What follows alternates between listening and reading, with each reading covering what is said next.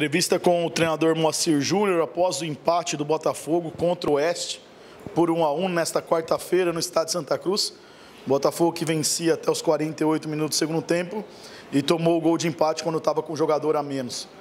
Professor, a primeira pergunta é do Jorge Vinícius, Rádio 79, Grupo Tati de Comunicação. Moacir, qual a motivação de colocar o Darley hoje na reserva contra o Lanterna do campeonato? Não é queimar um jogador que já salvou muito o Botafogo em outras oportunidades? Bom, Jorge, é, quando você está buscando alternativas, né? Hoje, se você for ver, a gente trocou, é, não só trocamos o goleiro, trocamos o centroavante, a gente buscando trocar peça e trocamos também a forma de jogar.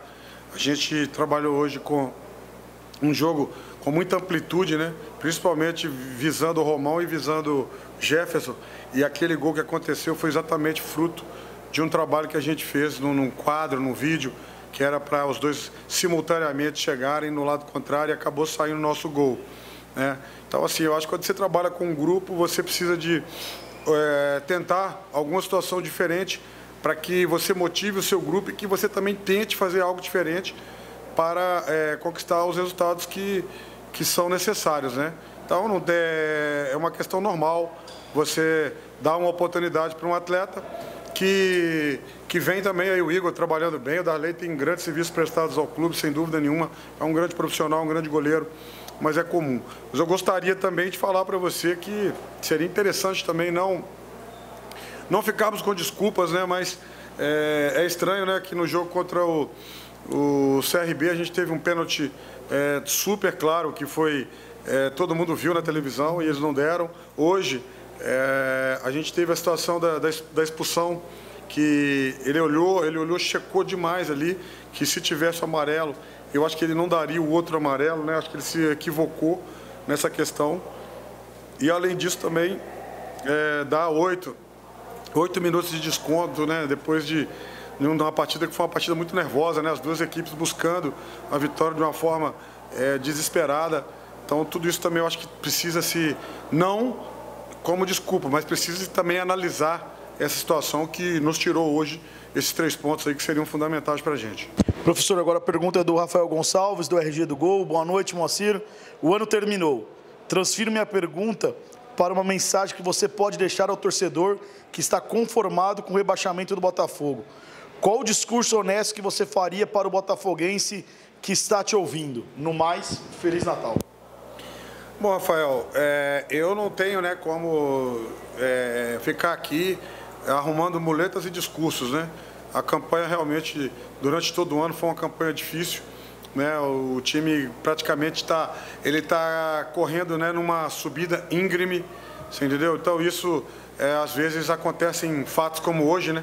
Que você toma um gol né, no, no, tempo de acréscimo e numa situação que a gente previa que eles iam alçar a bola na área, inclusive colocamos o Maia com esse objetivo de neutralizar essa bola, era a única situação que eles tinham, né?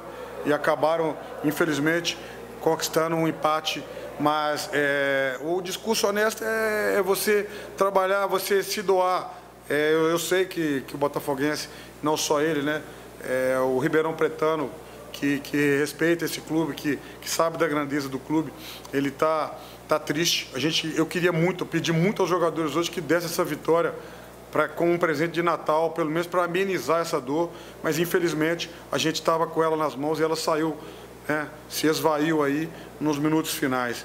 Então é, é desejar, é mesmo com tudo, né, a gente chega num momento muito difícil no clube, mas também eu acho que o que eu posso falar e, e fazer é me doar 200% durante o jogo ali na minha área técnica, incentivando os jogadores e fazendo com que eles, né, essa mudança de forma de jogar nossa hoje, proporcionou 1 a 0 e proporcionou chances para a gente matar o jogo. Infelizmente a gente não matou e aí sofremos, fomos assolados no final com aquele gol ali que, que custou nossa vitória. Professor, pergunta agora é do Reginaldo Decares, da Rádio CMN. Moacir, os jogos restantes servirão para definir quem ficará ou não para o Paulistão e dar oportunidades aos jogadores jovens? Bom, Reginaldo, é, a gente já, num, num, processo natural, a gente já tem né, observado, tem colocado alguns jogadores para jogar. O Jonathan é um jogador oriundo da base que vem tendo aí é, repetidamente oportunidades, né? É, hoje a gente colocou o Caio no momento que ficou com a inferioridade, porque ele, ele sabe fazer ali aquele lado esquerdo, tanto para vir para jogar como para fechar corredor. Então a gente está colocando. Você entendeu? Então da Copa Paulista hoje a gente também aproveitou, fizemos um, um, umas observações que, que precisam ser feitas. Mas não pode, de maneira nenhuma, enquanto você tem ah, 26 pontos, uma situação hiper, super difícil, mas você, está todo mundo querendo que o Botafogo abra mão da, da, da situação da, da Série B, né? principalmente os times que estão ali com 32 pontos. Está todo mundo querendo que o Botafogo abra mão e, e, se dê por vencido. E, na verdade, não pode. Você não pode jogar a toalha em cima de, um, de uma situação e de um clube que merece todo o nosso respeito. E isso aí a gente vem conversando internamente. E enquanto houver oportunidade de, de sair dessa situação, que ela é muito difícil, a gente vai brigar com muita força para que isso aconteça. Moacir, agora a pergunta é do Marcos Andrés, Rede Fé, K8, Rádio TV. Moacir, o Botafogo já está trabalhando o Paulistão de 2021, já que infelizmente no brasileiro se complicou de vez. Não é hora de rodar o elenco e ver quem se salva deste ano ridículo do clube? Bom, Andrés, realmente é um ano que o Botafoguense é, não gostaria de estar, né? não só ele, mas acho que todas as, todo o envoltório aí da comunidade botafoguense não, não gostaria de estar é, vivenciando, né? Mas eu falo para você que a gente não pode, né? apesar de estar com 26 pontos e, e com uma situação é, bastante difícil na tabela, né? não pode ficar aqui é, iludindo ninguém, mas também você não pode de forma nenhuma jogar toalha. Isso aí não existe. Né? Enquanto você tiver chance matemática, você tem que estar brigando, você tem que buscar o que nós fizemos hoje. Mudamos o time, mudamos peças, mudamos a forma de jogar. Né? Jogamos hoje com é, os dois é, alas muito, muito agudo, fazendo praticamente em cima do bandeira lá, para que um entrasse no lado contrário do outro e fizesse o gol. E acabou acontecendo de uma forma muito rápida. Né? Uma coisa que a gente provocou praticamente num, num diálogo e num posicionamento. Só que depois não houve a sustentação, tivemos chance de matar o jogo, dicas de passagem, né? assim como tivemos também contra o, o Juventude em casa, tivemos contra o Náutico, esses nove pontos aí, né, eles nos, estaria hoje numa situação totalmente diferente.